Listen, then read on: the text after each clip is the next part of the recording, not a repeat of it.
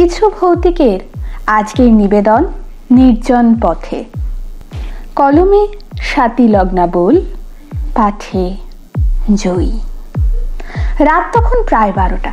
অফিসে আজ ওভারটাইম করে বাড়ি ফিরতে বড্ড বেশি দেরি হয়ে গেছে অঞ্জনবাবুর। অন্যদিকে আজকে অফিসের ক্যাবটাও নামিয়ে দিয়েছে তাকে অনেকটা দূরে। ফলে তাকে অনেকটা হেঁটেই বাড়ি ফিরতে হচ্ছে। অফিসের ক্যাব আজ টায়ার পাংচার হওয়ার কারণে যেখানে তাকে নামিয়ে দিয়েছে, সেখান থেকে তার বাড়িতে আসতে হলে একটা নির্জন রাস্তা ধরেই আসতে হয়। সচরাচর নির্জন রাস্তাঘাট এড়িয়ে চলাই শ্রেয় মনে করেন তিনি। কিন্তু আজ আর এড়িয়ে চলার উপায় ছিল না। এক প্রকার বাধ্য হয়েই তাকে ফিরতে হচ্ছে সেই রাস্তা দিয়ে। রাস্তাটি যার পর নাই অন্ধকার। চারিদিকে আলোর বিন্দুমাত্র দিশা নেই। রাস্তার দুপাশে দাঁড়িয়ে থাকা গাছগুলো যেন কৃত্রিমভাবে আরও বেশি করে তৈরি করে রেখেছে এই অন্ধকার। তারা যেন রাজি নয় চাঁদের আলোকে মাটির বুকে পা রাখতে দিতে। দিনের বেলাতেও এই রাস্তাটা একই রকম অন্ধকার থাকে। অঞ্জনবাবু, তাই বেশ ভয়ই পেলেন রাস্তাটা দেখে। তিনি নিজের ভয় কাটাতে পকেট থেকে মোবাইল বের করে তাতে হেডফোন লাগিয়ে জোরে গান চালিয়ে দিলেন। মূলত শাস্ত্রীয় সংগীত অথবা শ্যামা সঙ্গীতই শোনেন তিনি। আজও তার অন্যথা হলো না। তিনি গান চালিয়ে কানে হেডফোন গুঁজে হাঁটতে লাগলেন বেশ জোরে। বেশ খানিকটা রাস্তা হেঁটে আসার পর অঞ্জনবাবু উপলব্ধি করলেন, কেউ যেন ছায়ার সঙ্গী হয়ে পিছু নিয়েছে তার। তিনি তার থেকে নিজেকে বিচ্ছিন্ন করতে হাঁটার গতি বাড়িয়ে দিলেন। কিন্তু তিনি লক্ষ্য করলেন তার গতি বাড়ানোর সঙ্গে সঙ্গেই ছায়াটিও যেন গতি বাড়ালো। কিছুটা দূর অবধি নিজে জোরে হেঁটে আসার পর হাঁপাতে লাগলেন অঞ্জনবাবু। হঠাৎ তিনি অনুভব করলেন কেউ যেন ঠান্ডা হাত দিয়ে চেপে ধরছে তার পা। ভয়ে শিহরিত হয়ে চিৎকার করে উঠলেন তিনি। তার চিৎকারের শব্দে মুখরিত হলো চারপাশ। পকেট থেকে ছিটকে তার মোবাইল বাইরে পড়ে গেল, কান থেকে খুলে গেল হেডফোন। তিনি শুনতে পেলেন, কেউ যেন বলছে, কি ব্যাপার অঞ্জন? এত ভয় পাচ্ছ কেন? অঞ্জন এক মহিলার কণ্ঠস্বরে নিজের নাম শুনে ভয়ে হাত পা কাঁপতে লাগল তার।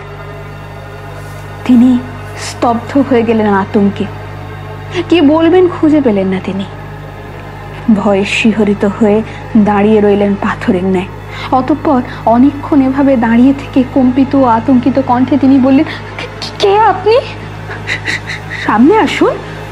মহিলাটি একই রকম কর্কশ স্বরে বলল, আমাকে চিনতে পারলে না অঞ্জন এত তাড়াতাড়ি ঘুরে গেলে বছরগুলো এত তাড়াতাড়ি ভুলে গেলে আমায়? অঞ্জনবাবু একই রকম কম্পিত ভয়ার্থ কণ্ঠে জিজ্ঞেস করলেন, কে আপনি? মহিলাটি এবার তার কর্কশ কণ্ঠ সহযোগে তারও স্বরে হাসি দিয়ে উঠল, আমি পারমিতা, ভুলে গেলে আমায়? মহিলা কণ্ঠে পারমিতা নামটি শুনে আতঙ্কিত হয়ে পড়লেন অঞ্জনবাবু। তার হাত পা ভয় কাঁপতে লাগল। শীতল রক্তস্রোত বয়ে গেল তার সারা শরীরে। কম্পিত অধরে তিনি ভুলে উঠলেন, পারমিতা? অঞ্জনবাবুর মুখে নিজের নাম শুনে অট্টহাসি হেসে উঠল মেয়েটি। সেই হাসিতে মুখরিত হলো চারপাশ। অঞ্জনবাবুর কানের পর্দা ফেটে যাচ্ছিল সেই হাসির শব্দে। অন্যদিকে দু চোখে ভিড় করে এলো শ্রুতিরা মনে পড়ল পারমিতার মুখ। অঞ্জনবাবুর বড় মেয়ে রুমকিকে পড়াতে আসতো বছর বাইশের একটি মেয়ে। যার নাম ছিল পারমিতা। বলা বাহুল্য ডাক সাইটে সুন্দরী বললেও তাকে কম বলা হবে। মজে যাওয়া দাম্পত্যের জালে জড়িয়ে থাকা অঞ্জনবাবুর মনে জায়গা করে নিয়েছিল পারমিতা অচিরেই।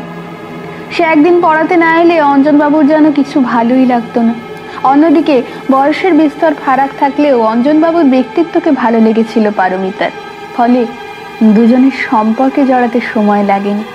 পারমিতাকে বিয়ের প্রলোভন দেখিয়ে ভোগ করতেও রুচিতে বাঁধেনি অঞ্জনবাবুর পারমিতা তাকে অন্ধ বিশ্বাস করে দিয়েছিল নিজের সবটাই।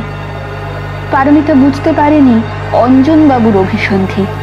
সে তাই একদিন খুশি মনে অঞ্জনবাবুকে এসে বলেছিল, এই অঞ্জন, আমি না আমি না মা হতে চলেছি। অঞ্জনবাবু তার কথা শুনে ভীত হয়ে বলেছিলেন মা, আমি এই বাচ্চা রাখতে পারব না।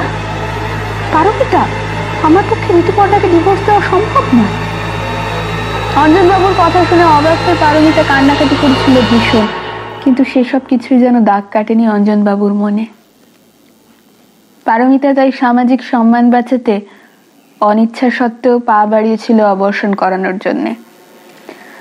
পারমিতার যদিও বা তখন পাঁচ মাসের গর্ভ ডাক্তার রাজি হননি। রাজি হননি কোনো নার্সও। শেষে এক আয়ামাসির হাত ধরে গর্ভপাতের জন্য রাজি করানো হয় তাকে। তিনি পারমিতার গর্ভপাতের অপারেশন করেন। কিন্তু অতিরিক্ত রক্তক্ষরণের জন্য অপারেশন টেবিলেই মারা যায় পারমিতা।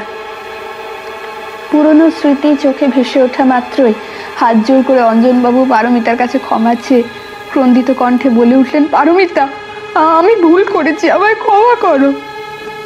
তার কথা শুনে পারমিতা তার উৎসরে হেসে উঠে বলল, মানুষের বিশ্বাস নিয়ে যারা খেলে, তাদের কোনো বাঁচার অধিকার নেই, অঞ্জন। অঞ্জনবাবু তাও নিজের প্রাণ ভিক্ষা চেয়ে কাকুতি মিনতি করতে রাখলেন। কিন্তু পারমিতার কাছে গৃহীত হলো না সেই আর্জি। সে নিজের করাল মূর্তি নিয়ে উপস্থিত হলো অঞ্জনবাবুর সামনে।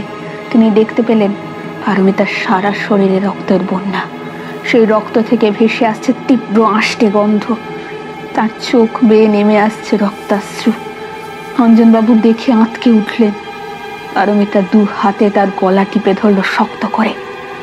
তার হাতের চাপে দমবন্ধ হয়ে আসতে লাগল অঞ্জনবাবু।